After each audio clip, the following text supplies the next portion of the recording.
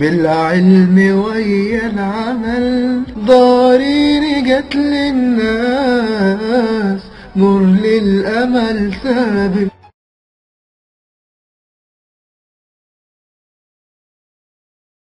السلام عليكم ورحمة الله وبركاته. بسم الله الرحمن الرحيم هبدأ محاضرة النهاردة. إحنا كنا طبعا نهينا المحاضرة اللي فاتت عملية ال plan quality اللي كنا بنخطط فيها لإدارة الجودة في المشروع بتاعنا. قلنا آه، قلنا أهم مخرجاتها آه، خطة الجودة وال checklist بتاعتنا اللي هنستخدمها في ال- الفحص بتاعنا المنتج أو المخرجات المشروع بكل أنواعها فيها الوثائق بتاعت المشروع كمان بيتعمل لها review زي مثلا البرنامج الزمني تعمل له review مراجعة البرنامج الزمني تلاقي مراجع بي- نازل مثلا مشروع مراجع مثلا جودة دوت بيبقى مثلا غرفة إدارة بيبقى نازل مشروع بيبص على آه، حاجات مجرد وثائق آه، منها مثلا البرنامج الزمني فال checklist بتاعته بتبقى من ضمنها آه، وثائق مش مجرد بس حاجات كمنتج حاجات كوثائق برضه. فبالتالي أنت بت- بتقوم بفحص زي ما بفحص المنتج برضه بتفحص الوثائق وتشوف هل الوثائق مستوفيه ولا لأ؟ هل الوثائق متحدثة ولا لأ؟ هل الوثائق مطابقه للواقع؟ يعني تلاقي برنامج الزمني مطابق للواقع ولا في اختلاف؟ آه، هل البرنامج الزمني ده مثلا آه، ممكن يكون مكتوب عليه تاريخ الشهر الحالي لكنه لا يعكس آه، سير العمل في المشروع. فتلاقي مثلا إن إحنا في شهر مثلا مارس مكتوب إن في أعمال مثلا كهرباء كه- شغل كهرباء مثلا في المشروع أو كهرباء ميكانيك في المشروع بتاعك. بادئ من شهر يناير وما زال الكهروميكانيك ده ما اشتغلش في مشروعك. يعني لسه مفيش أي شغل يمت الكهروميكانيك في مشروعك لحد شهر ثلاثة فأنت دلوقتي بتقدم برنامج زمني شهر ثلاثة آه، لا يعكس آه، شيء حقيقي يعني. فالمفترض إن آه، بت- بتغير برنامج الزمني وتقول مثلا أنا متوقع إن إحنا اتأخرنا شوية في شغل الكهروميكانيك لأسباب معينة فهنبدأ مثلا في شهر أربعة هذا شهر خمسة. بتحدث ال- ال- الحاجة على تاريخ لسه ما جاش لكن ما ينفعش يبقى بتقول إن الاعمال الكهروميكانيك بقى شهر واحد وما يكونش فعليا لسه آه، بدأت في الواقع يعني. ما كنتش في مشروع اعمال كهروميكانيك يبقى اذا ده حالة عدم مطابقة. حالة عدم مطابقة بالنسبة ل إن البرنامج ده البرنامج ده مش مطابق للواقع. فأنت بتفحص ال- ال- ال- الواقع وبتفحص ال- ال- المستويات نفسها والواقعات نفسها. دي آه، ال checklist بتاعتك بتبين العناصر اللي أنت بتفحصها. يبقى إحنا هناخد جودة كمخرج وعندنا العناصر ال checklist بتاعتنا اللي هتتفحص عندنا المقاييس بتاعتنا اللي هي ال metrics اللي هي ال- ال- القياسات. إيه يعني مثلا إيه معايير القبول والرفض لكل منتج من المشروع بتاعي؟ إيه معايير القبول والرفض إيه معايير القبول والرفض بالنسبة لكل خامة هتيجي؟ كل توريد مثلا معين. إيه معايير القبول والرفض أكيد آه، بيبقى فيه مقدار من السماحية آه، بيبقى في قبول في خلال ال- ال- ال interval بتاعت السماحية دي. أعلى من كده أو أقل من كده بيبقى reject بيبقى فيه رفض. فإذا القياسات بتاعت كل حاجة لازم برضو تبقى مخرج من عملية ال plan quality لأن بتاع quality control هيستخدمها في آه، جميع الاختبارات بتاعته عشان يعرف الاختبارات بتاعته آه، ماشية إزاي. عشان يعرف المنتج اللي بيختبره أو الشيء اللي بيختبره ده هل هو مطابق للمواصفات ولا آه، خارج عن حدود المواصفات. آه، في كمان ال process improvement plan دي خاصة بتحسين العمليات إنك بتبص على ال process وتشوف إيه العوائق اللي تعوق سير العمل في process معينة من خلالك تبقى عارف حدود حدود ال- ال- process نفسها ديت وإيه ال input وال output بتاعتها إيه ال tools اللي بستخدمها فيها. ال workflow داخل ال process نفسها المقاييس بتاعتها كذلك. الهدف أحسن من العملية العملية دي موجودة ليه أساسا؟ تمام. عشان تقدر تقارن هل هي أدت للهدف اللي هي موجودة عشانه ولا لأ؟ آه، كذلك في project update اللي منها ال stakeholder register اللي هم كنا هناخد منهم المعايير ومعايير القبول والرفض وخدنا منهم آه، حاجات خاصة بالمتطلبات لأن طبعا إحنا وثيقة المتطلبات معانا في الم- كمدخل. فوثيقة المتطلبات ديت أكيد لازم يبقى في برضه stakeholder هنلم منهم المتطلبات دي. فبالطبيعي إن يتم تعديل ال stakeholder register في المرحلة دي. حد أضيفه مثلا حد أحذفه حد يغير موقفه مثلا من محايد لمثلا لداعم أو من داعم ل آه، محايد آه، تغير موقفه مثلا فأنا بعكس الموقف الحالي من خلال أنا بعدل ال stakeholder register في كمان طبعا responsibility assignment matrix ده مفروض توزيع المهام اللي هي مثلا فريق control quality assurance بتاعي توزيعهم بالنسبة للمهام اللي موكلين بيها الاختبارات بتاعتي مين اللي بيقوم بيها آه، مواعيد الاختبارات بيبقى في فريق طبعا من فرد ال quality control بيبقى الشخص منفرد فيه يعني طبيعي إن يبقى في فريق quality control بين الشركات بتبقى مهتميه بالجودة في فريق لل quality control وفريق لل quality assurance فانت بتوزع المهام بتاعتهم مين اللي هيعمل ال test ومين اللي هيقبل ال test والحاجات ديت فبتعدل الوثيقة دي معاك. اللي هي responsibility assignment matrix ودي هنشوفها في شفرة HR اللي هو human resource العملية رقم اثنين هي perform quality assurance ودي إن أنت بتشوف معايير ال- ال- الجودة اللي أنت ماشي عليها. هل هي مطابقة لمعايير الجودة في المؤسسة بتاعتك ولا؟ هل في آه، العمليات وال process نفسها هل فيها استقرار ولا لأ؟ آه، هل المعايير الجودة نفسها اللي متبعه في الشركة بتاعتك ممكن تحسينها ولا لأ؟ كل الحاجات دي خاصة ب آه، عملية ال quality assurance ال quality assurance دي بتتم في أي مرحلة من مراحل المشاريع اللي هي المراحل الخمسة اللي هي ال- ال- ال- الخمسه phase بتوع المشروع اللي إحنا قلنا عليهم الانيشيشن والبلاننج الاكسكيوتنج المونيتور اند كنترول والكلوزنج بتتم في أي مرحلة. دي بتتم في مرحلة ال executing يبقى ال quality assurance بتتم في مرحلة ال executing ليه بتتم في مرحلة ال executing لأن براقب بيها التنفيذ نفسه مش الم... مش ال control على منتج. يعني فرق إن أنا أعمل control على منتج أنا بفحص المنتج واشوفه مطابق للمواصفه ولا في change request أعمله اعمل له repair مثلا أو حاجة أو يحصل له سكريب يحصل له اهلاك لو إن مفيش سكريب مش يعني مش هينفع علاج المنتج فأعمل له سكريب يبقى اهلاك آه، ده يبقى quality control لكن quality assurance أنا ببص للعمليه نفسها. اذا أنا براقب التنفيذ. يعني أنا ببص هنا حاجة تتعلق بالتنفيذ وحاجة تتعلق بسياسات التنفيذ. والتعديل فيها يؤدي لتعديل في التنفيذ اذا هي حاجة مرتبطه بالتنفيذ عشان كده هي تقع في في مرحلة ال executing المدخلات بتاعتها آه، اللي هي المخرج من العملية السابقة اللي هي quality management plan خطة الجودة. آه، طيب أنا لسه دلوقتي بتكلم عن تحسين عمليات تحسين إجراءات تحسين سياسات بتاعت الجودة. آه، وهنشوف السياسات اللي هي بتاعت المؤسسة مطبقه في المشروع بتاعي ولا لأ وهل السياسات الاساسيه للمؤسسه ديت فيها مش متوافقة مع متطلبات العميل ممكن تكون متطلبات العميل آه، طالب مستوى من الجودة مش متبع في المؤسسة. وبالتالي ساعتها معايير ومقاييس الجودة بتاعتك هو ساعتها ممكن يقول لك أنا عايز كود مثلا معين كود مصري كود أمريكي بيبقى آه، شغال مثلا هو يقول لك على على كود معين. ممكن كنت في مؤسستك متبع سياسة ما أو أو أو نظام ما في الجودة مواصفة معينة.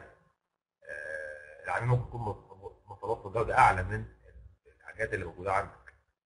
في الحالة ديت انت بتقوم بتغيير السياسات اللي موجودة في المؤسسه عندك بما يتماشى مع متطلبات العميل ده quality كده assurance لأنك هتعدل فيه سياسات سياسات جودة.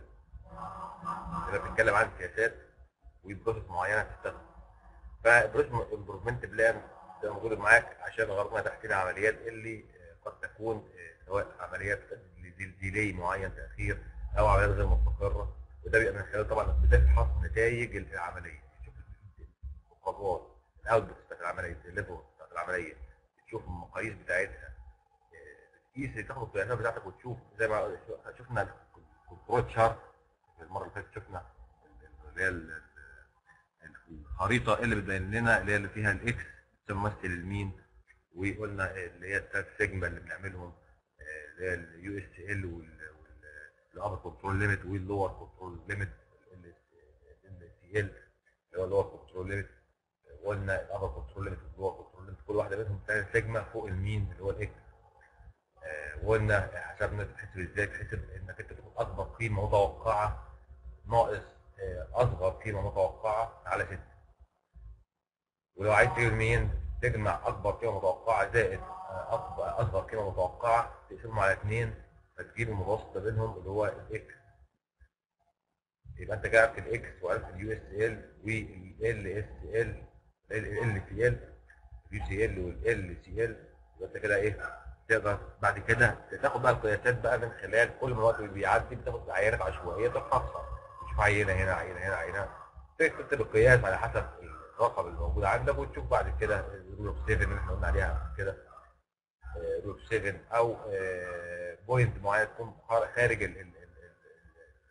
ال upper control أو ال lower control ده يبقى عملية غير مستقره في الحالة دي نستخدم ال process ديت عشان نعمل تحليل العملية عشان تبقى مستقره. ال quality metrics اللي هي آه، القياسات لأن إحنا المفترض إن إحنا نستنتج منها attributes ليه؟ أنت لما بتتكلم على القياسات ممكن كل القياسات نفسها هي اللي غلط القياسات نفسها تمام؟ ممكن تكون غلط. تمام؟ بمعنى إيه؟ مين اللي قال مثلا إن أنت هتقبل عينة مثلا معينة من الاسمنت مثلا؟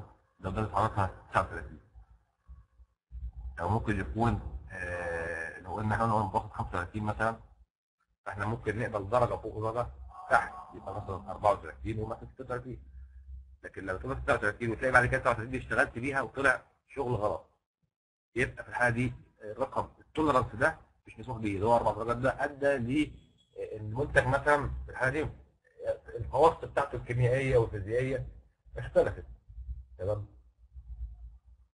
ده ده بيخليني بعد كده أقول ال tolerance نفسه ده غلط أو ال measure ال metrics ديت آه، غلط. المفروض تبقى مثلا درجة مثلا 36 و34 يعني ما بين 34 و 36 أنا هقبل فوق كده أو تحت كده أنا هرفض.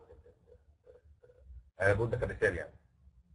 يبقى في الحالة دي آه، المقاييس نفسها بيتم النظر فيها في العملية دي لازم تبقى جميع المقاييس اللي هستخدمها في جميع الخامات وجميع الشغل اللي أنا هفحصه تبقى موجودة عشان أعيد النظر فيها. هل هي آه، الخصائص دي سليمة ولا يعاد النظر فيها. ال quality control measurements. ال measurements هي القياسات الحقيقية. يعني أنت لو بتقول إن دي معايير القبول والرفض بالنسبة لكل حاجة كأرقام طول متوسط كذا وهقبل. ال average من كذا لكذا ده كمان هنا بقى القياسات اللي هي بقى إيه ال- القياسات بتيجي تختبر الحاجة مثلا وتقول درجة حرارتها كذا. تمام؟ أو معدلات أداء معدة معينة كذا. في الحقيقة بقى. هنا بقى الفحص الحقيقي دي measurement قياسات أنت خدتها في الفحص الحقيقي فما الطبيعي برضو إن هي تبقى موجودة ك logic في العملية ديت. ليه؟ لأن أنا هقيم دول. دول اللي أنا بقيمهم مش دي اللي هي بتترسم على ال- control chart وهبدأ أشوف العملية بتتكرر بتتكرر من خلال توزيعاتها اللي هي rule of seven والحاجات اللي إحنا عليها. يبقى آه، جميع الحاجات ديت مش يعني من خلال الاثنين دول أقدر أعرف العملية مستقرة ولا مش مستقرة. طيب عرفت انها مش مستقرة هستخدم ديت تمام؟ إن حاسس انها عمليه تمام؟ طب الحاكم لكل الحاجات دي مين؟ هي دي بقى ال quality management plan الحكم لكل العمليات دي أو كل ال- ال process نفسها سواء ال process ديت أو اللي بعدها اللي هي quality control project document project document الوثائق اللي أنا هستخدمها. طب إيه الوثائق اللي ممكن أستخدمها في الحاله دي؟ مش ممكن مش أنا بعمل review مثلا. فممكن اشتغل استخدم مثلا إيه؟ checklist ات معينة. تمام؟ اللي بتحضر كانت سجلات من سجلات الجودة مثلا. يبقى دي document بستخدمها وأنا بعمل quality assurance زي مراجع الجودة نازل ال checklist ال checklist دي كانت فاضية. هي فيها عناصر بس هي فاضية. مش مكتوب فيها قياسات ولا اختبارات ولا أرقام يعني ولا أي حاجة. مجرد هو آه، يعني دي كانت document معاه لكن بعد كده بت- بت- بتعدل ال document بتبقى سجل بتبقى data حقيقية. data من خلال المراجعة اللي هو عملها آه، في المشروع مثلا. ال tools بتاعتنا وال techniques plan quality and perform quality control يعني تخطيط للجودة وال quality control tools and techniques يعني دي وسائل وأدوات تستخدم في إنك تعمل plan لل quality و perform quality control طب ليه؟ لحاجه في quality assurance بتتكلم لي عن ال plan quality وعن ال quality control يعني عن العملية اللي قبلها والعملية اللي بعدها. شفت كل الكلام في العملية دي. لا. assurance بتتكلم عن سي- حاجة بتفرق سياسات فشوف أنت بتخطط الجوده صح ولا لأ؟ هتفهم كل ال- ال- سياسه الجوده نفسها وتشوف هل هي متوافقه مع المؤسسه وهل متوافقه مع المواصفه اللي العميل عايزها. هل البروسيس بتاعتك سليمة ولا لأ؟ فبالتالي دي بتشوف كل ال- العملية سواء العملية اللي قبلها أو العملية اللي بعدها تفحصها وتشوفها آه، هل سير العمل ماشي على حسب مقاييس اللي العميل طالبها ولا آه، في شيء غير كده. لو في شيء غير كده بيتم تحسين عمليات. فايه إيه ال tools دي بقى؟ منها ال affinity diagrams ودي بيرتب فيها إحنا خدناها في وإحنا بن- بنعمل collect requirement لو حد فاكر. كان بي- بيرتب الافكار أو المطالبات اللي شبه بعض في يعني بيربط- بيربطهم ببعض بين كل مجموعة حاجات بيعملها تجربتي كده. كل مجموعة أو generate idea that can be linked to form organized pattern of thought about a problem.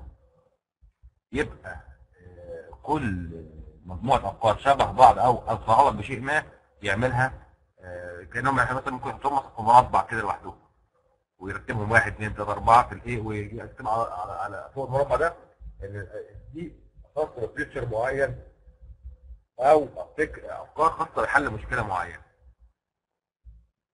اذا هو قدر يعمل categorize للأفكار بتاعته. يحطها categories كده. دي بقى diagram ال tree diagram اللي هو زي دبليو بي اس وار بي اس ار بي اس ده هنعرف عليه في chapter لا اس اللي هو ال resource breakdown structure إحنا قلنا عليه قبل كده كمان إحنا بنتكلم في ال activities وبنتكلم في في ال schedule management ال RBS اللي هو resource breakdown structure WBS هو work breakdown structure ال OBS هو ال organization ده اللي إحنا ما اتكلمناش عنه.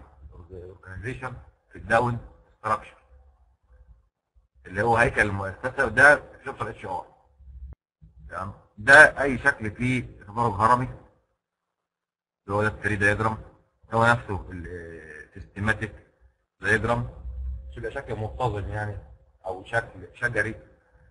تمام. مبني آه، بيعمل حاصل عمل decomposition باستخداماته زي زي الحاجات دي كده. ماشي. بيستخدم ليه؟ إنك أنت بت decomposition لحاجة يعني بتقسم الحاجات الكبيرة لجزء أقل منها. بتقسم الرصاص بتاعتك تقسم هيكل المؤسسة والتدرج الوظائف في المؤسسة والصلاحيات وكده. هل ده مفيد طبعا في الجودة؟ أكيد طبعا ده الحاجة دي يعني تخيل أنت لو بتعمل الفرق بين ال WBS وطريقه التنفيذ كبنود اللي هي ال project scope statement شوف الفرق ما بين الاثنين من الشكل ده قدرنا نشتق بعد كده activity وعملنا schedule يبقى اذا جودة الأعمال تتعلق بإنك الأعمال تذكر في تفصيليه وكذلك الصلاحيات كذلك ال resources يعني كل دي حاجة بتفيد في مصلحة الشغل دي حاجة تفيد في الجودة. عشان كده ال tree حق- وسيله من الوسائل. كذلك إنك تعمل الأفكار وترتيبها في ال affinity diagram دي ترتب الأفكار آه، أو تحطها في categories تعملها group كده من كل مجموعه أفكار متشابهة أو بتحل مشكلة معينة تبقى مع بعض في group معين. ال activity resource diagram اللي هو الشكل اللي هو بتاع ال- ال- ال- أو في البرنامج الزمني إن إحنا بنعمل activities ونوصلها ببعضها وطبعا ده حاجة بتفيدني في تتابع الانشطه إذا كل الحاجات دي بتؤدي لسير العمل في المشروع بصورة سليمة وصوره آه، ت- ت- خليني أعمل estimation بصورة دقيقة وأعرف آه، آه، ترتيب الأنشطة و ال duration بتاعتها أو التتابع بتاعها ده يفيدني في آه، سير العمل. لما يكون مشروع عندي وأنا مش عارف البرنامج الزمني بتاعه. بتعمل حاجة قبل حاجة آه، وترتب حاجات آه، غلط. فده يؤدي لمشاكل في التنفيذ. مشاكل في الجودة. بالاترايزيشن ماتريكسز as key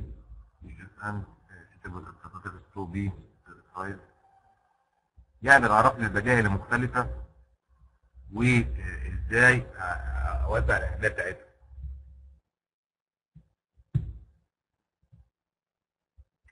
يكون عندك مجموعة من الالترناتيفز البدائل. وانت عايز تشوف البديل الأفضل يعني مثلا لو بتشتري مثلا زي عمليه توريد مثلا وانت عايز تشوف تتعامل مع أي مورد من الموردين فانت بتحط معايير معينة ووزن نسبي لكل عضو وعطى الاختبار بالنسبة للموردين دول آه، عشان تقدر تقيمه. فهنا أنا عندك الحاله دي مثلا هي التوريد الموردين للغرض بتاعتك عشان تقدر تعمل بالبرايز فأنت بترتب الحكاية كوزن نسبي. يعني تقول إيه أهم عنصر لازم تحط مثلا 40% مثلا؟ إيه العنصر بعده مثلا تبقى 20% يبقى التقييم الدرجة الكلية من 20% واحد تاني مثلا تاني من 10% على حسب إذا أنت بتديك اوزان نسبيه عشان تعمل ترتيب للعناصر. دي بتستخدم لما يكون آه، عندك أكتر من بديل وعايز ترتبها كريتيريا are prioritized and weighted before being applied to all variables. To the score that ranks the option. ده اللي إحنا كنا بنقول فيه اللي هي انت بتعمل وزن نسبي بتشوف إيه العناصر بتاعتك في التقييم بتاعك إيه كرايتيريا وتحط وزن نسبي لكل عنصر من العناصر على حسب أهميته. يعني هل مثلا آه، السعر مثلا هو جزء من. من. من ال... من ال... المعايير بتاعتك طب هل السعر قبل الجودة بتاعت المنتج ولا اللي يتم توريده ولا ال- الجودة ده أهم؟ دي حاجة؟ هل مثلا آه، آه،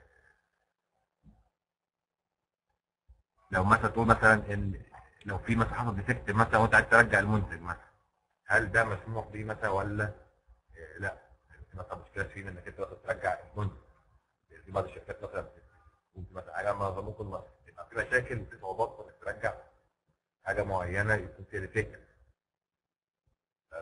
فأنت ما تكون من المعايير إنك أنت عارف الشركات اللي ممكن تكون عندها مرونة في الجزئية ديت ومين الشركات اللي ما عندهاش مرونة.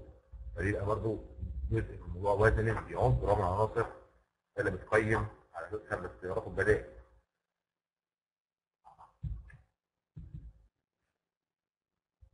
دي الأشكال بتاعتنا اللي بتبين الحاجات اللي إحنا بنشرحها دلوقتي ال tree diagram هو ده ماشي؟ بس طبعا هو إيه؟ آه، عكس بدل ما يعملها من المستوى ده يبقى هو ده اللي فوق ودي المستويات اللي تحت منه لا هو جابها إيه؟ من ناحية الشمال هنا و آه، فرع منها الثلاث تفريعات دول ماشي؟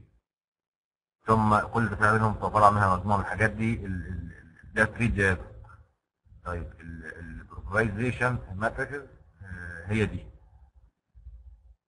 ماشي دي أما ال affinity هي دي. ال affinity آه، كل فكرة يعني أنا ال staff. إيه المشاكل في ال staff؟ هو أساسا اللي هو بيقيس على الجمهور customer service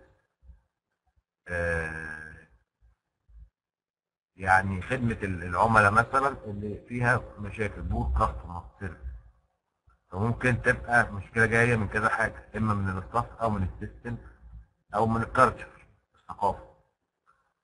ال staff في يعني هو قسمها هنا ك staff مجموعة حاجات. يبقى إذا الأفكار دي كلها احطها category تحت ال staff. الحاجات دي احطها تحت ال system. الحاجات دي احطها تحت ال culture. يبقى إذا نقسمها ل categories وكل category تحت منه مجموعة من ال- ال- ال- العناصر أو المشكلات اللي تبقى تحت ال category ده. ال prioritization matrix هي بالشكل ده عنده كذا بديل زي project واحد اللي هو A B C D دول أربع مشروعات عايز ترتبهم حط معايير criteria and weight weights معايير زي إيه زي cost saving زي ال customer benefit corporate image learning opportunity تمام؟ إنك أنت آه، إيه التوفير في المصروفات إيه ال customer benefit الحاجة العائدة على ال customer تمام؟ إيه ال- التعلم اللي ممكن تتعلمه؟ فرصة التعلم في مشروع زي دوت؟ مش ممكن يكون التعلم ده خاص بالأفراد أو خاص بالمؤسسه المؤسسة هت- هتستفيد إن هي تتعلم خبرات جديدة في مشروعات جديدة. تمام؟ حط كل حاجة من الحاجات دي حط لها وزن نسبي. يعني إيه؟ يعني ده مثلا 4 من 10 4 من 10 دي لأن هو أهم من بقية العناصر. ده مثلا اللي بعد 3 من 10 ده العنصر اللي بعد إيه؟ اللي رقم 2 العنصرين دول زي بعض. 2 من 10 تمام؟ وبدأ يدي لكل مشروع منهم قيمة. تمام؟ بدأ يدي لكل مشروع منهم قيمة تمام كترتيب عشان يعني يرتبها بالنسبة للعناصر ديت. تقيس كل مشروع بالنسبة للعناصر ديت. ماشي؟ ويجيب ال total المشروع ده خد كام ك total فلقى ال total هنا 2.8 10 2.7 10 2.5 2.6 2.7 طبعا يعتبر هو أول حاجة. بعد كده 2.8 10 هو تاني حاجة. اذا هو رتب المشروعات هنا ماشي؟ على حسب مجموعة من العناصر في المشروع وفي عناصر أهم من عناصر ثانية ماشي بالشكل ده. تمام؟ وبعد كده بي بي بي على حسب آه، كل مشروع يقيسوا على ال- ال- ال- ال- العنصر ده. شوف هيبقى آه، هيديه رقم كام.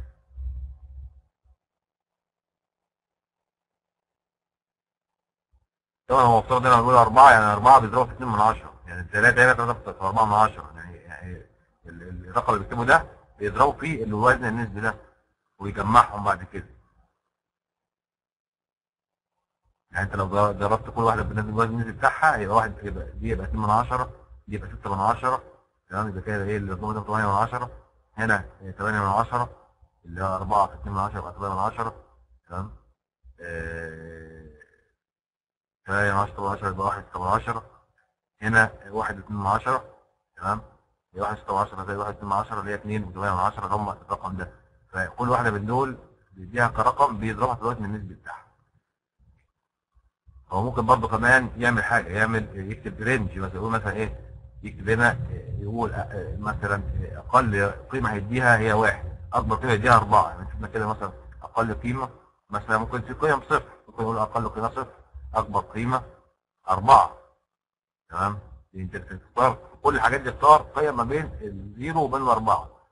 ما بتزيدش عن كده. يعني ال range بتاع يعني مثلا zero مثلا الحاجة اللي هي ضعيفة جدا أو رديئه جدا الأربعة دي مثلا حاجة اللي هي فيها آه، يعني حاجة عايز تقول هي high score يعني. تاني تقول معانا خلي إن كل ال tools دول تحت حاجة واحدة اللي هي إيه؟ plan quality and perform quality control tools and tools رقم اثنين quality audit ال quality audit إنك أنت بتعمل audit هو مراجعة. اللي إحنا بنقول عليها إن بيبقى مراجع الجوده بينزل المشروع مثلا ومع ال check بتاعته ويشوف يعمل مراجعة على الوثائق في المشروع وعلى التنفيذ ويشوف شغل التنفيذ في المشروع. Quality audit is structured independent process to determine independent يعني حاجة مستقلة. عشان كده بقول لك المراجع ده آه، بينزل يعني إيه يراجع على الجودة في المشروع أو شغل المشروع كله. مش معنى إن مثلا الزميل بتاع quality control هو اللي في المشروع يبقى آه، يبقى زميله مستسلم للمراجعة. لا هو بيراجع على زميله بيراجع على ال quality control وبيراجع على وثائق المشروع ككل سواء الوثيقه دي مطلوبة من مدير المشروع أو شغل تنفيذ أو يعني أي حاجة في تخص المشروع. فهي حاجة عشان كده اندبندنت حاجة مستقلة. Determine if project activity activities comply with the organizational and project policies uh, processes and uh, procedures. هو بيراجع يشوف هل اتفق مع السياسات المفترض إن المشروع يقوم عليها أو أو السياسات المؤسسه كذلك ال process بتتم ولا لأ؟ ال process اللي اتوقفت فيه خطه المشروع مثلا. أو خطه الجودة هل هي بتتم ولا لأ؟ آه، هل ال process دي بتتم بصورة سليمة؟ ال input بتاعتها سليمة وال output بتاعتها تطلع سليمة ولا القياسات بتاعتي بتقول ان ال output غير مستقرة؟ آه، كذلك الإجراءات بتاعتك برضه بتفحصها ال object بتاع ال quality audit هو إيه؟ ليه بعمل quality audit؟ ليه بعمل مراجعه؟ تعمل مراجعه عشان ال gaps أو shortcoming يعني تشوف الثغرات اللي موجودة في المشروع بتاعك identify all good practices being implemented يبقى لو لقى مراجع جودة حالة من الحالات اللي هي فيها تطبيق كويس في المشروع برضه يوثقها عشان تتعامل على بقية المشروعات. ويوثقها كاثبات ل المشروع ماشي بصورة جيدة. اذا هو مش مجرد إن هو بيعمل review بيطلع سلبيات المشروع اللي بيراجع عليه بس لكن لأ بيشوف ال good practice الحالات الجيدة برضه بيعمل لها documentation ماشي؟ عشان آه، يتم تعميمها والاستفاده بيها. دور اكتفلي offer assistance to improve the implementation of the bus identify good test conducts being implemented. يعني هو بيعمل نفس الكلام اللي قبل كده اللي هو أنا بعرف الجود براكتس يطبقها أو بيعمل لها آه، تحسين عن طريق إن هو بيذكر الحاجات الجيدة ديت ويتم تعميمها. quality audit confirm the implementation of approved change request uh, corrective action, defect repair, and preventive action.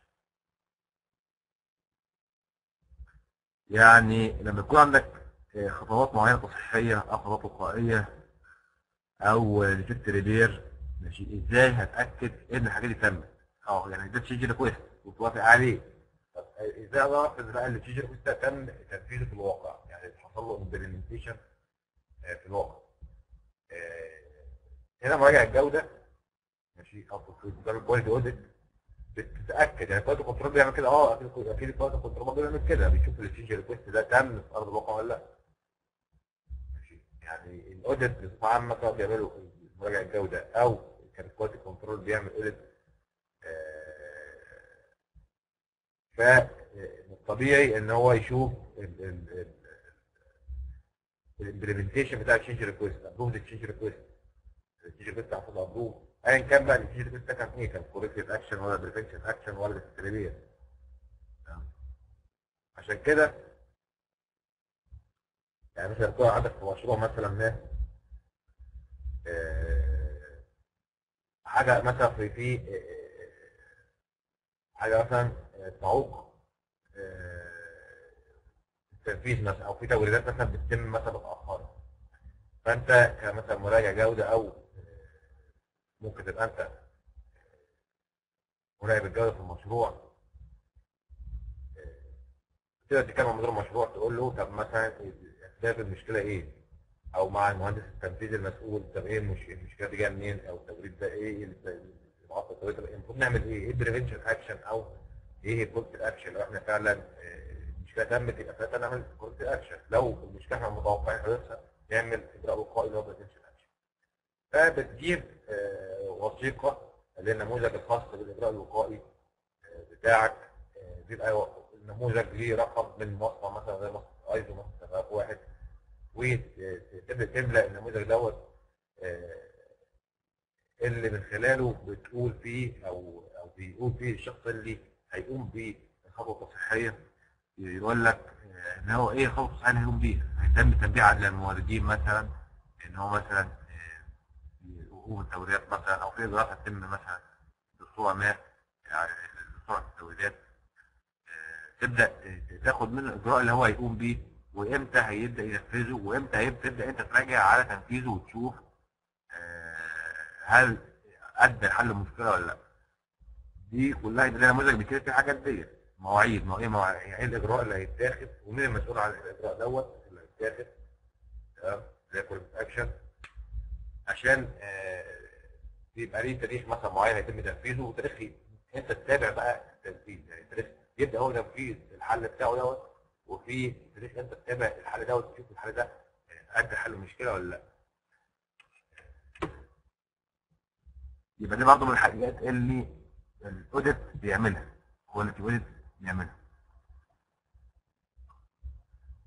رقم ثلاثة في ال tools process analysis إنك بتعمل analysis لل process تقدر إنك توصفها بالشكل اللي هو زي ما هو هنا flow chart كده عشان يوصف ال process سير عمل العملية دي ماشي إزاي عشان يقدر يشوف ال defect ات اللي فيها أو إيه ال non value added activities يعني لو في activities بتتم كده بتعطل الدنيا وملهاش فايدة. يبدأ يستثنيها. بدل ما بيضيع وقت ومجهود و resources فيها يبدأ يستثني الحاجات اللي ما بتضيفش قيمة حقيقية لل process. فبالتالي عن طريق ان هو يوصف ال process لما يكون عندك process الله توصفها بشكل جرافيك كده اللي هو flow chart كده عشان تقدر تقول الجزئية دي مثلا دي كده هي اللي تعطل الدنيا الحتة دي مثلا. تمام. كده توصف الإجراءات. وكل إجراء تاخد كام يوم. يعني من المكتب دوت للمكتب دوت كذا ولازم فلان يمضي. وبعد كده بعد كده مثلا يرجع فلان التاني دوت يمضي. تمام. آه تبدأ تكتب كل الحاجات ديت من الدورة المستندية بتاعتك اي عملية آه سير العمل فيها توصفه بالطريقة ديت. لو عندك اختبار طبعا بشكل معين دوت ماشي. آه من خلال الشكل ده تبقى تقدر تعرف السبب في تعطيل ال process بيبقى جاي منين. جود root cause analysis إنك تعرف السبب في اللي بيؤدي للمشكلة هتبدا تعمله root cause analysis اللي هو ال fish bone اللي إحنا قلنا عليه قبل كده. analyze problem situation حل المشكلة عشان تعرف اسبابها determine the underlying causes that lead to it. تعرف الأسباب اللي هتؤدي ليها create preventive action أو preventive action. for similar problems. إنك بتعمل حاجات بقى وقائية عشان لو في مشكلات من نفس النوعية دي هتحصل يبقى أنت عن طريق إنك اكتشفت الحل هنا تكتشف يعني تستخدم نفس الحاجة في نفس المشكلات أو مشكلات متشابهة. ال output بتاعتنا. change request تمام انك انت دلوقتي تعمل فحص تعمل audit تعمل process مثلا بتشوف ال process بتراجع على ال process فبالتالي من الطبيعي إن انت لما تلاقي أي process سليمه تعمل change request ما انت مش هتعدل العملية غير لما ب change request ويتوافق عليه. فانت بتعمل تطلع change request request اما corrective action أو prevention action أو defect زي ما إحنا قلنا قبل كده. بتعدل في الخطة. تعديل الخطة. طالما بتعمل ريفيو على أي حاجة فمن الطبيعي إنك تبص للخطه بتاعتك وممكن تعدل في خطة الجودة. لو مثلا لا توافق سياسات الجودة اللي أنت المفروض تشتغل عليها. أو في نوع في اختبارات ما كانتش موجودة في خطة الجودة. ماشي. دي من الحاجات. أو في خطه الجودة المعايير قبول ورفض كانت فيها بالسليمة. فأنت ممكن تعدل خطه الجودة. تعدل فتره التكاليف. لو هتعمل سياسات بصورة أفضل أو عايز تعمل تدريب مثلا لقيت سياسات كتيرة فعرفت كنت أناليسيس إن دي مشكلة تدريب. ناس مش مدربين بصورة كويسة. فأنت هتعمل هنا غايه خطه الكوست عشان خاطر تقدر تعمل كوست كواليتي ترفع البند بتاع cost quality دوت عشان المصاريف اللي هي داخله التدريب دي هي من مصاريف ال cost quality مش في مصاريف إحنا قلنا في حاجة اللي هي مصاريف اللي هي ال conformance وال non conformance conformance cost وال non conformance cost فأنت عشان تعمل تدريب ده من ضمن ال conformance cost اللي هو cost quality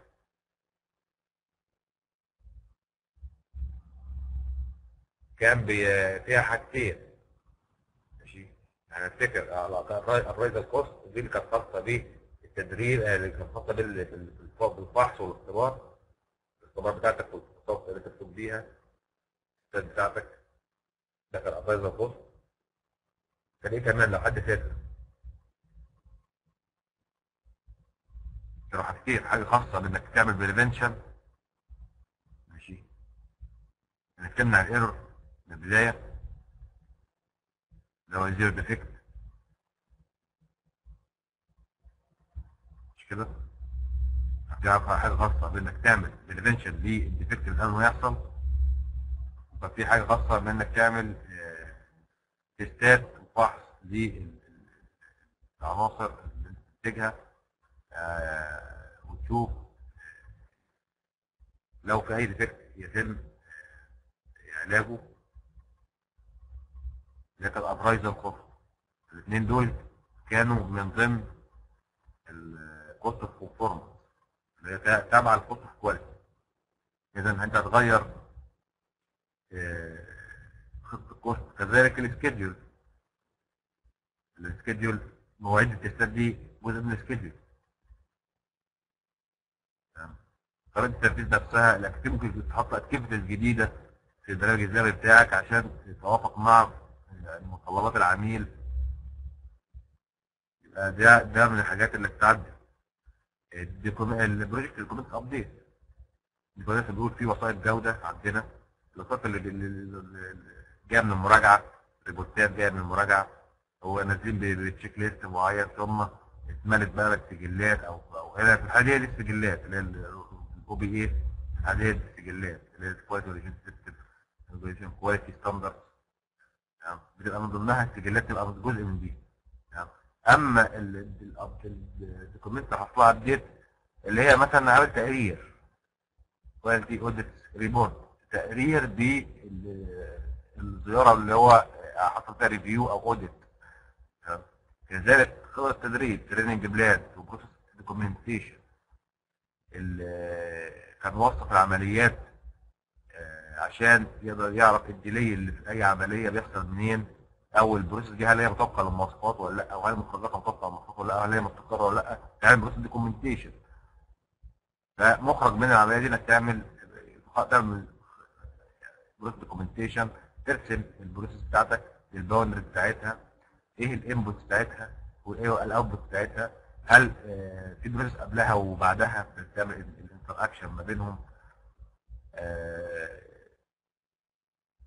ال metrics اللي هي المعايير أو المقاييس اللي داخل ال process برضه.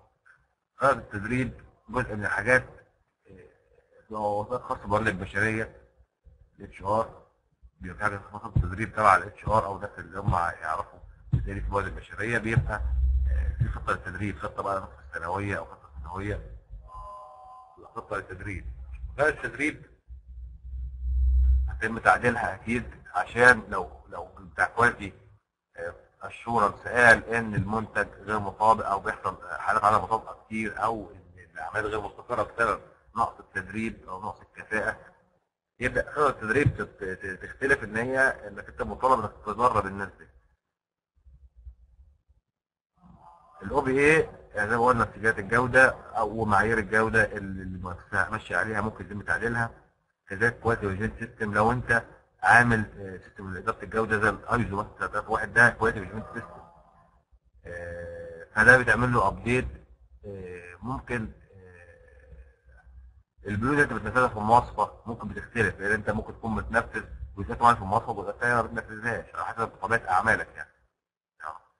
فأنت بتعمل لها update برضه اللي هي الجزئيه اللي انت هتشتغل عليها في المواصفة ديت أو نماذجك اللي أنت هتشتغل عليها من جوه المواصفة يعني بما يتوافق مع متطلبات العميل يعني.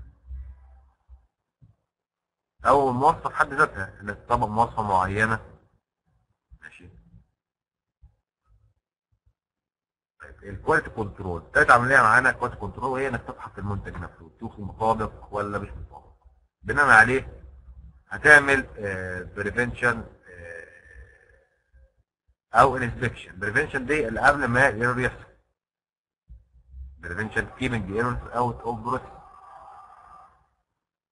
طب ال inspection keeping errors out of the hand of customer يعني ال inspection مش بيمنع ال error لكن بيفحص المنتج ويشوف لو في error يلحق يعالجه قبل ما يوصل لل customer ده في ال inspection. أما ال prevention هو بيشتغل من البداية إن هو ما يبقاش فيه error اللي هو zero defect identifying the causes of poor process or product عشان كده بيوصف ال process identify the causes of poor process or product quality and recommending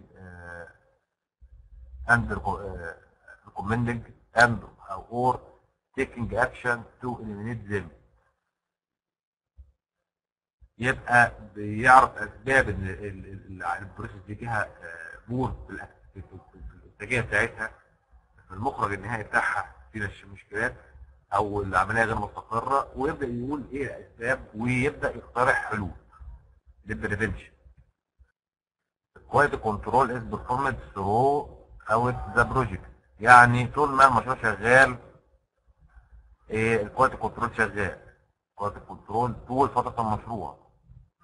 طب إيه العملية أصلا quality control يعني إيه؟ تعريف ال quality control process of monitoring and controlling the results of executing the quality activities to assess performance and recommend necessary changes.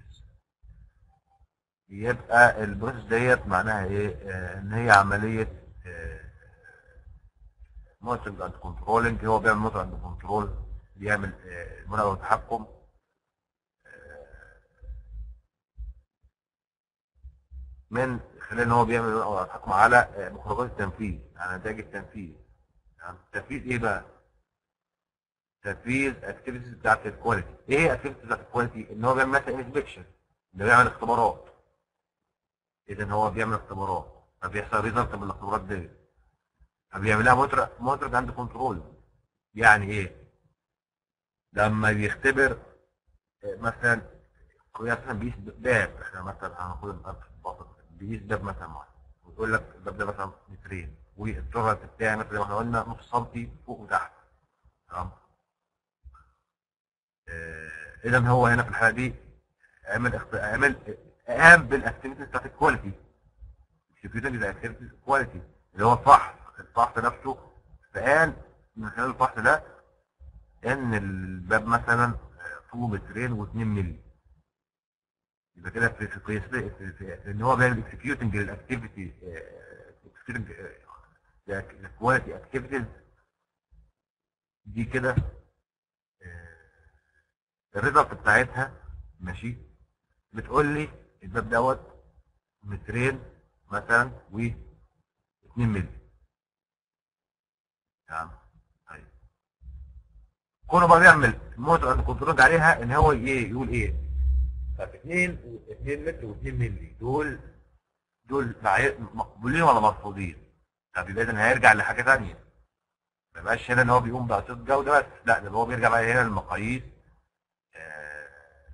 يعني النتيجة نفسها بيرجع لها من عليها and control ماشي؟ فيشوفها مقبولة ولا مرفوضه من خلال المقاييس اللي جاية له من الخطة أو جاية له من العملية الأولانية. معايير قبول ورفض كل حاجة. طيب.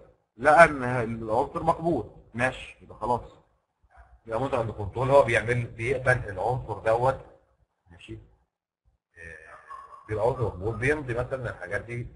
مثلا سليمة. أو بي- بي- بي- بي- بيسجل السياسات بتاعته دي سليمه طيب لو فيها defect بيعمل change request فإذا هو برضه بيعمل monitor and control لل result يبقى ان هو بيعمل activities لل quality activities اللي هو بيقوم بالاختبار. فيطلع result فبيعمل monitor and control result ديت عشان يشوفها مقبولة ولا مرفوضة ولو مقبولة خلاص يعمل مثلا كانت في ورقيات خاصه بالقبول بتاع العنصر إن كانت مرفوضة يبقى في خاصه بال reject ويقول سبب ال reject ويعمل change request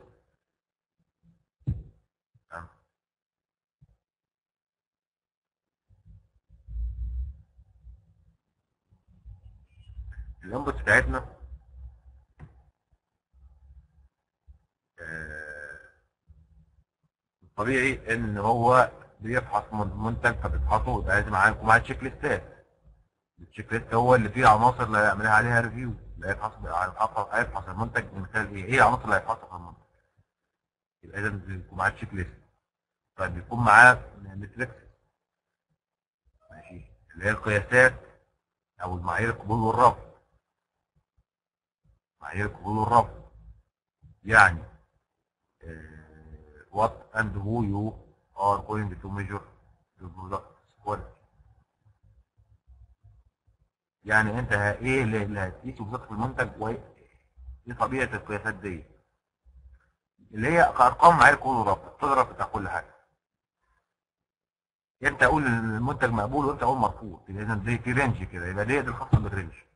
ودي العناصر اللي هيتم فحصها في المنتج. تمام؟ طيب. دي ال plan اللي هتبقى حاكمة للموضوع كله.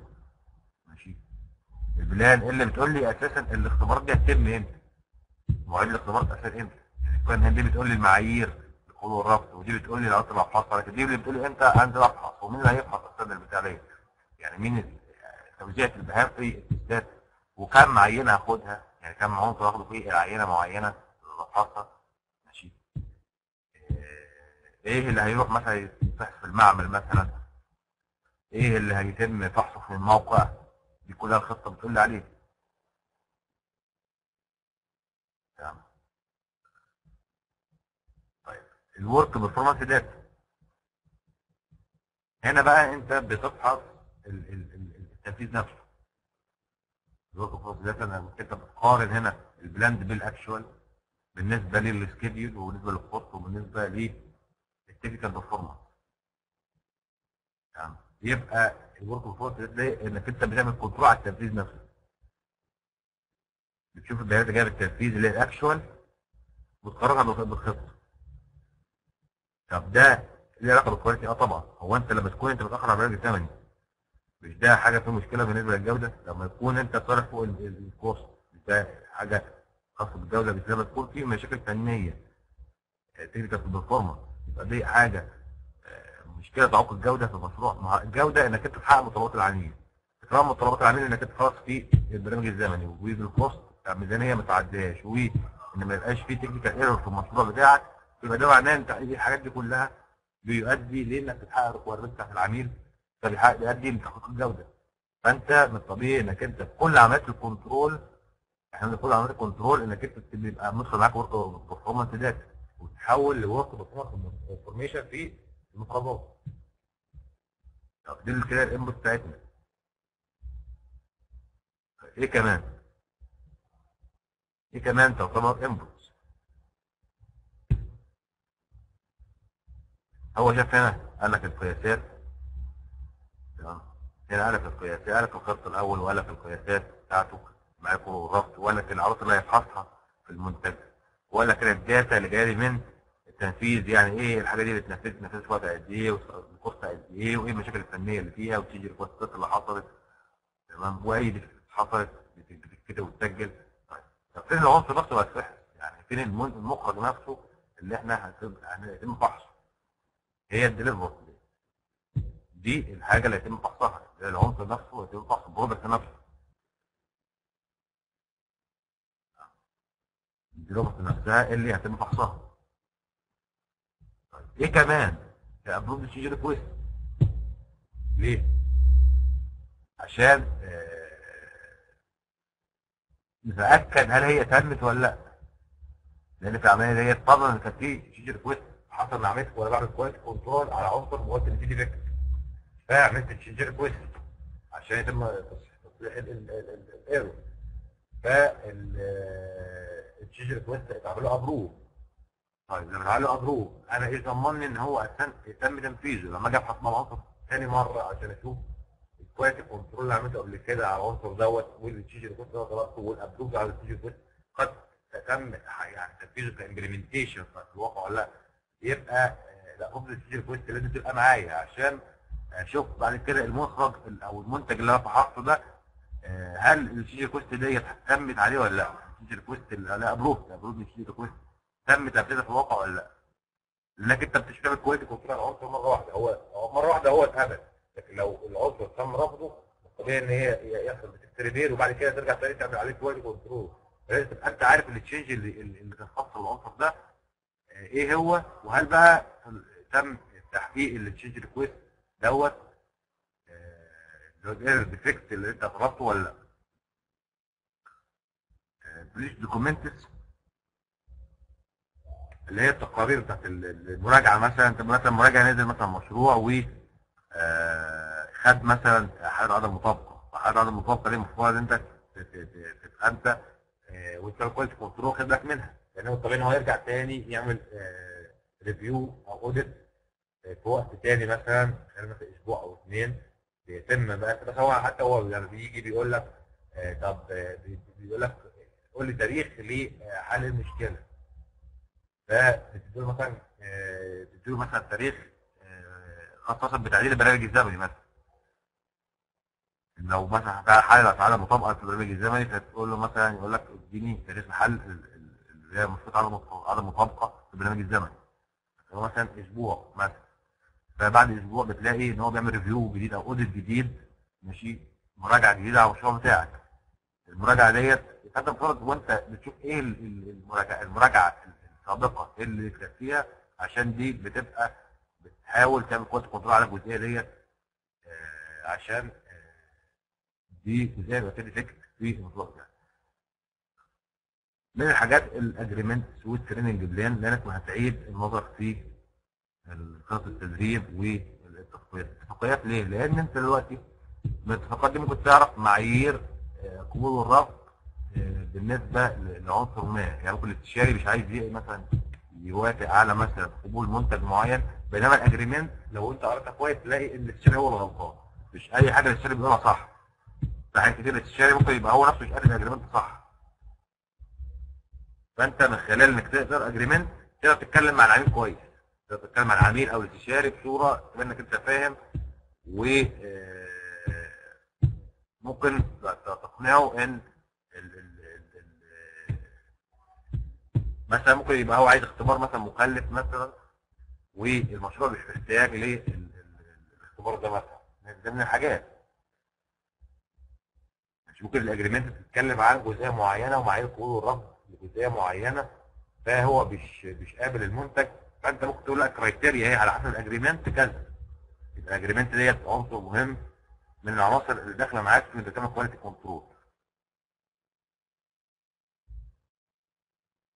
ال OPA في كل عمليات ال control ال OPA مدخل معانا بتمثل السياسات بتاعتنا والمقاييس اللي إحنا ماشيين عليها هو آه، اجراءات العمل في العمليات التنظيمية لسير الأعمال.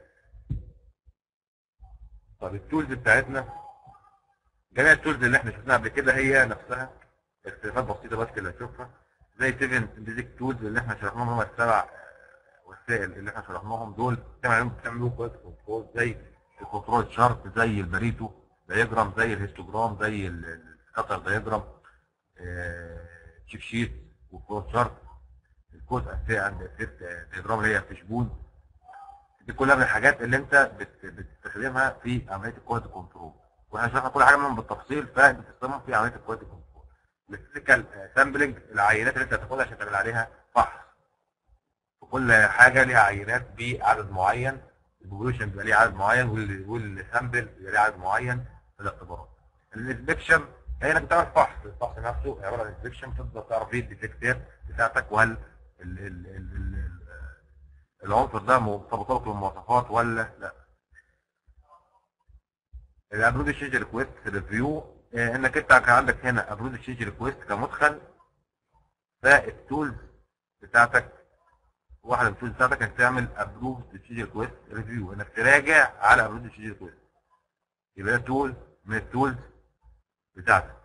إنك أنت لما يكون عندك approved change request فأنت بتعمل عليها review. تمام يقول لك all approved. Change requests should be reviewed to verify they will be uh, they uh, they were implemented as approved. يعني تتراجع هل هم تم تنفيذهم؟ يعني هم مش كفايه هم approved بس؟ لا لازم تشوف حصل لهم implementation في الواقع ولا لا. طيب ال ال الارجوس بتاعتنا من غير ما حتى ما نبص كده لازم هيحصل work performance information زي كان في work performance data لازم إيه يطلع معايا work performance information تمام؟ إحنا بصينا هنا هنلاقي لازم هيكون في work performance information. لا لازم يبقى في work performance information. يبقى دي آه، كوابل مش موجودة هنا مش مكتوبة هنا لكن لا يعني المفروض يبقى فيه يطلع work performance data بتطلع لي work performance information يبقى ممكن تكون مش مكتوبة هنا لكن هي من ال output بتاعتها. كذلك ال validated changes يعني إمتى أقول إن ال change ده تم؟ من خلال عملت review لو لقيت إن إن ال approved change request حصل implementation في الواقع بقول إن بعمل validated change يعني ال changes دي تمت. دي كده دي معنى ال validated changes ال quality control measurements ماشي اللي هي نتيجة القياسات بتاعتي اللي بقيت بيها العناصر. كنا بنقول إن إحنا ممكن نختار control آه، control chart. القياسات اللي كانت موجودة في ال control chart ديت هي دي القياسات اللي اللي هي ال quality control measurement مش شرط نحط في control chart لكن يعني إن أنا بعمل review على المنتج وأوثق جميع القياسات بتاعتي. ال verified deliverables اللي هي ال deliverables المقبولة. Determine the correctness. of deliverables and will be input uh, to formal acceptance يعني ال verified deliverables دي بعد كده بتروح لعمليه ثانية اللي إحنا كنا درسناها قبل كده في ال scope اللي هي validate scope. فبتاع quality control يفحص يدخل input عند deliverables يبقى output output verified deliverables يعني تم الموقع إن ال deliverables سليمة المحفظات سليمة تعمل لها inspection ولها إن هي سليمة. فبعد كده دي تروح على formal acceptance من العميل أو من الاستشاري في عملية ال validate scope رقم أربعة change request طب أنت فحصت العنصر مثلا. لقيت فيه defect مثلا معين فأنت تعمل change request ماشي بحركة تصحيحية أو آه وقائية أو defect repair ممكن يبقى تغيير تغيير في الخطة. آه ممكن تغير في خطة المشروع. خطة المشروع ككل ممكن يتم تغييرها. تكون الخطة نفسها هي اللي فيها مشكلة مش في التنفيذ. ال project documents update project management plan update دي الخطة بيتم تعديلها. يعني في كل عمليات ال control ان الخطة بيتم تعديلها.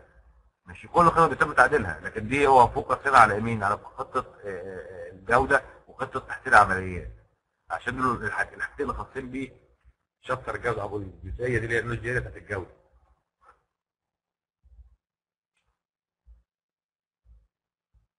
إن خطه تحسين العمليات ممكن تعملها تعديل آه عشان خاطر إنك أنت آه شايف لو العمليات غير مستقرة ونفذت خطة تحسين عمليات واللي هي موجودة عندك وما تمش تحسين عمليات ما بقتش مربوط في الواقع تحسين عمليات ديت فبالتالي الخطة دي ممكن تعدل فإذا project management plan آه update بيحصل فيها تعديل لخطه الجودة أو ممكن تلاقي cost of quality مثلا أنت عايز تزود cost of quality في مشروعك أو تقللها على حسب تمام؟ عايز تزود مصاريف التدريب أو مصاريف ال test بتاعك أو نوعيات ال test تغير نوعيات ال test أو المعايير بتاعت القبول والرفض. دي كلها هيتم تعديل حاجات في الخطة.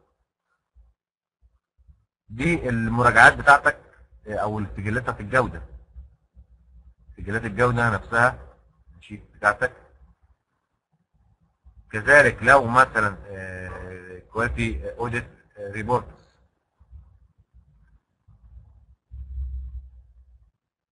يعني انت بتعمل quality control ماشي ال ال هو quality audit control audit دوت خاص بالعملية اللي قبل كده. وال report ما يتم تعديل ال report ماشي. بس يعني انت ممكن تكون انت انت اللي يعني بيعتبر انك انت اللي عملت audit بقى في حاجة زي كده. كواليتي اوديت أو ريبورت يتم تعديل ال report بتاعك يبقى ده معناه إن انت اللي عامل هنا ال audit في العملية دي. مش ال audit اللي هو خاص بال assurance أنا قلت خاص بال assurance يبقى هيتم تعديله بواسطه اللي بيعمل assurance في quality assurance سواء العملية قبل كده quality assurance مفهوم quality assurance كذلك الاتفاقيه ومعايير القبول والرفض فيها ممكن يتم مناقشه بنود معينه ونلاقي ان إحنا عايزين نعمل update لل agreement ال OP ال OPA update اللي هي ال update وال complete checklist اللي هي ال checklist ات اللي تم فحص فعلا ال checklist يعني ال checklist هو مكتوب فيها ال data. يعني اتحولت من checklist لسجل دي ال OPA update انت كانت في عندك OPA كمدخل بقت هنا السجل هنا أو ال checklist اللي انت بتفحص من خلالها مليتها data حقيقية complete ال data أو ال checklist فدي بتتسجل في ملفات الخاصة بال checklist ات بتاعتك ودي تبقى ال OPA update إحنا كده خلصنا ال chapter بتاع الجودة. تمام؟ خلصنا كده chapter quality management وإن شاء الله بإذن الله نستكمل نستكمل غدا إن شاء الله. نخلي بكرة للأسئلة عشان برضو هنخلي بكرة يوم مفتوح للأسئلة كلها. تمام لو حد مش فيه جزئية مش مش مفهومة يبقى نراجع على جزئيات مش مفهومة. وجزئية الامتحان مش مشكلة دلوقتي إحنا هنخلي نأجل جزئية الامتحان شوية عشان بس نخلص شوية في المنهج. وبعد كده نتكلم في HR إن شاء الله من المحاضرة آه، بتاعت بعد بكرة إن شاء الله.